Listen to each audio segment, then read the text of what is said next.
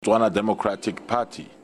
It won 36 parliamentary seats, while the Umbrella for Democratic Change won more than 15, with Botswana Congress Party winning only three seats. This is the highest uh, number of opposition member of parliaments that we ever had, uh, ever since independence. And it shows that, uh, uh rightly so, it was a, a hotly contested uh, elections, and the margins were very small. The opposition may have failed in its bid to topple the BDP, which has been ruling since 1966.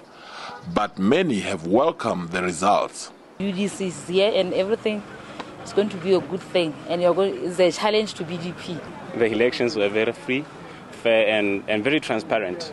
Yeah, I, I really commend the BDP. I'm so excited that there's been a change, that more so that there are many seats for opposition parties. Election observers have declared the elections free and fair. Based on its observation, the SADC electoral uh, elections observation mission has concluded that the general elections held in Botswana on the 24th October 2014 were peaceful, free and fair, transparent, and credible.